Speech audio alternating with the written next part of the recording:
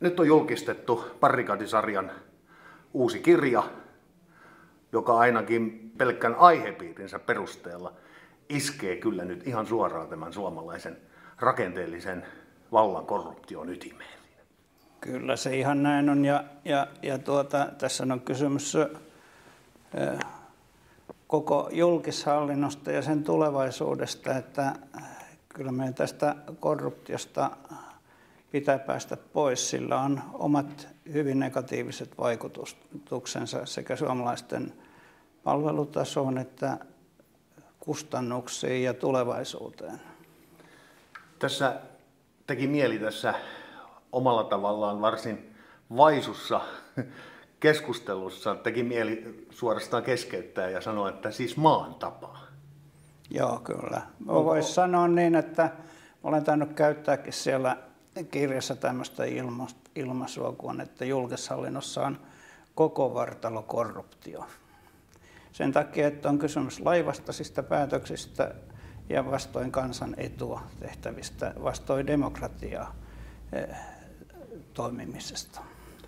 Voidaanko ihan suoraan esittää ajatus, että tämä pitkän aikaa Suomessa valtaa pitänyt eliitti on jollakin tavalla onnistunut betonoimaan tämän vallan tällaiseen järjestelmään?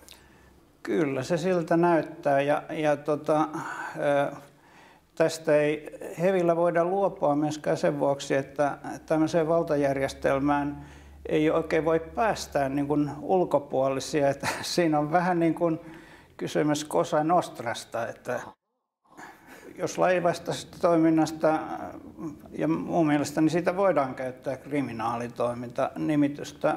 Siis kysehän on siitä, että Arno Hannus esimerkiksi tunnettu juristi totesi aivan suoraan, että kysymys on perustuslain vastaisesta toiminnasta. Kun nämä poliittiset virkamiehet tavallaan toimii sitten poliitikkojen suojana, niin silloin on helpompi tehdä ihan suoranaisia rikollisiakin toimia joko vaalirahoituksen saamiseksi tai muun oman edun tavoittelemiseksi. Ja, ja yksi huippuesimerkkihän tästä on Vantaalta valtuuston puheenjohtaja Salmivuo, joka sai vuosi kahdeksan kuukautta ehdotonta vankeutta eh, suoranaisesta rikollisesta toiminnasta. Joo.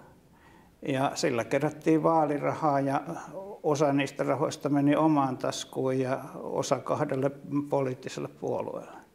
Risto Hietanen, Vantaan Sanomien nykyinen päätoimittaja, kirjoitti erittäin kattavan kirjan tästä aiheesta.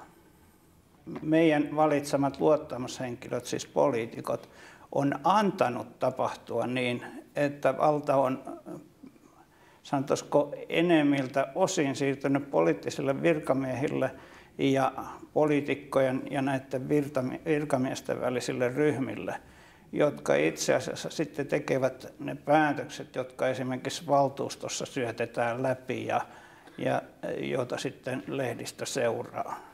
Tästä muodostuu tämmöinen hyvävelijärjestelmä, jossa jäädään kiitollisuuden velkaan puoli ja toisin. Ja tämä hyvävelijärjestelmä suurelta osin selittää myöskin tämän vaalirahakorruption. Että se oli mahdollista. Että se oli mahdollista ja, ja, ja tota, sillä vaalirahan järjestämisellä sitten nämä, nämä omat etuutensa saaneet pyrkivät täyttämään sen kiitollisuuden velkansa. Voidaanko peräti niin sanoa, että tämä vallan kova rakenne on siellä virkamieskunnassa – ja, ja sitten sieltä käsin sitten saatetaan auttaa näitä poliitikkoja.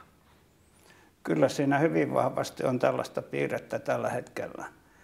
Että periaatteessa luottamushenkilöillä on valta, mutta he ovat luovuttaneet sen vallan näille poliittisille virkamiehille hyvin suuressa määrin. Ja itse asiassa eh, nyt sitten nämä virkamiehet ohjaavat poliitikkoja, eh, jotka sitten heidän tekemien ehdotusten pohjalta niin syöttävät päätöksiksi valtuuston ja, ja hallituksen eduskunnan kautta ne syntyneet ratkaisut.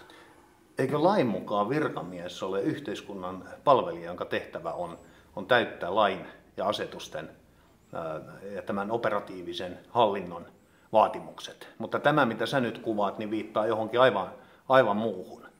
No kyllähän se tämän alkuperäisen vallan kolmijako, kolmijaon mukaan, Montesquieun kolmijaon mukaan, josta meidänkin hallinto on johdettu, niin näin olisi.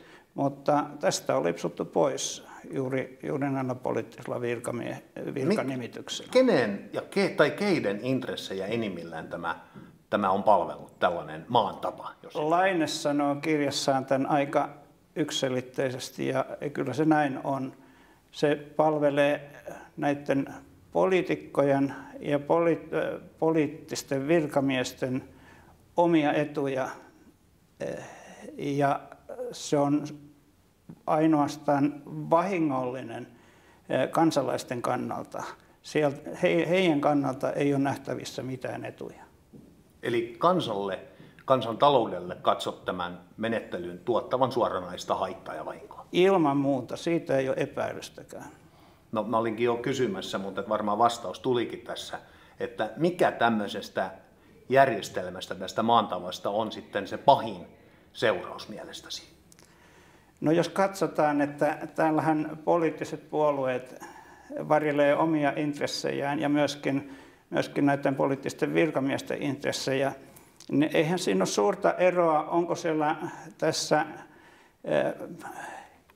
nautintojen saamisen puolella, siis hyväksikäyttö, vallan hyväksikäyttöpuolella yksi, kaksi vai kolme puoluetta. Ja, ja tota, itse asiassa Neuvostoliitossa, jossa oli yksi puolue, niin se lopputulema oli maan romahdus.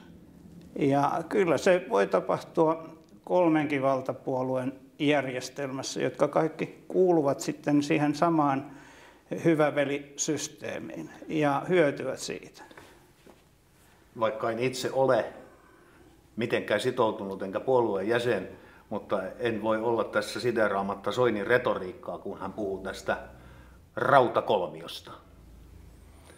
Tämä neljäs, joka nyt sitten mielipidemittausten mukaan ja yleisenkin kansan mielipiteen mukaan on nyt tekemässä melkoisen Antreen Suomen politiikkaan tässä kahden viikon päästä, niin, niin miten tämä Soini perussuomalaiskuvio ja sitten tämä rautakolmiokuvio, joka on betonoinut valtansa näihin mainittuihin virkamieskuntien järjestelmiin. Miten, miten tämä pystyy pelaamaan keskenään? Menettääkö Soini niin kuin, niin kuin tämän ää, puhtoisuuden, mitä perussuomalaiset tähän mennessä on olleet, vai tapahtuuko, onko mahdollista lähteä tätä rautakolmiota sieltä ihan betonitasolta, sieltä vallan ytimestä, tämän korruption tasolta lähteä muuttamaan? Se on kyllä tosi vaikeaa, jos ajatellaan nyt, että Soinista tulisi esimerkiksi ministeri. Hän saa ministeriön tota, hallittavakseen ja johdettavakseen. Ja kun systeemi on sellainen, että siellä on aikaisemmin niin tietty poliittinen virkamiesryhmä, joka on ministeriryhmä, niin tehnyt valmiin yhden ehdotuksen, joka sitten hyväksytään tai hylätään, niin siellä ei ole nyt yhtään eh, sellaista virkamiestä, joka olisi tästä Soinin porukasta. Eli siellä kyllä tulee olemaan sitten, sanottaisiko tämmöinen Seinä vastassa. Mahdollisesti jopa totaalinen vastarinta. Eli se, se betonimuuri vastassa. Siitä on hyvin vaikea nähdä, että miten siitä pääsisi yli.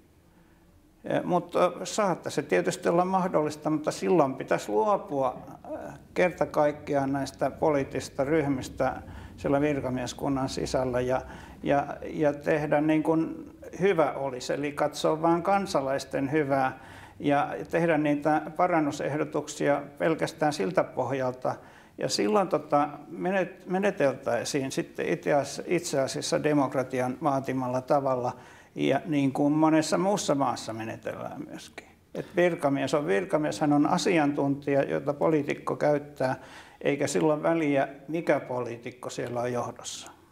Onko kokemuspiirissäsi tai tietämyksessäsi liittyen Suomen oikeusjärjestelmään liittyen tähän kysymykseen näistä poliittisista virkanimityksistä? Kuinka paljon tunnet tätä puolta? No tota, joka tapauksessa siinä mielessä, että kun toimitaan perustuslain vastaisesti, niin sehän murentaa meidän oikeusjärjestelmää. Ja kun sitten vielä oikeusviranomaiset ei puutu näiden luottamushenkilöiden laivastasiin päätöksiin, niin sillä on huonot vaikutukset meidän oikeusjärjestelmään. Ja sitten mä olen tätä demokratiaa käsitellyt siellä kirjassa vähän laajemmin ja todennut siinä sitten myöskin eduskuntaan liittyvästä demokratiasta, että muissa maissa on perustuslakituomioistuimet, jotka päättää siitä, että onko joku lakiesitys perustuslain vastainen tai ei, ja päättää kansanedustajan syytteeseen panosta tai muusta semmoista siihen liittyvistä asioista, eikä nämä kansanedustajat itse, että sehän on niin kuin tämmöisten yleisten oikeusperiaatteiden vastaista, että itse ratkaistaan, tehtiinkö me nyt lainmukainen päätös vai eikö tehty. Tuomioistuitten pitäisi joka tapauksessa olla mahdollisimman riippumattomia kaikesta politiikasta ja, ja olla sen ulkopuolisia. Ja tämä ja, perustuslakituomioistuin voisi olla just tällainen? Kyllä se voisi olla. Kyllä se voisi olla. Onko semmoisesta hyviä kokemuksia esimerkiksi Euroopasta? On joo, totta kai.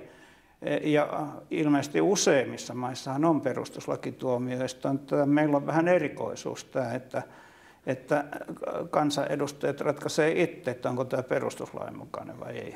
Tota, mulla itsellä on semmoinen, semmoinen toivomus ja halu tämänkin kirjan suhteen, että mä voisin parantaa meidän demokratiaa toimivammaksi niin, että se lähtisi kansalaisten tarpeista ja toiveista käsin. Ei, että se olisi kansalaislähtöistä demokratiaa, se on täysin mahdollista muuttaa sillä tavoin. Nyt tällä hetkellä se on virkamieslähtöistä byrokratiaa lähinnä. Ja sä peräänkuulutat demokratiaa? Peräänkuulutan demokratiaa, kansalaislähtöistä demokratiaa.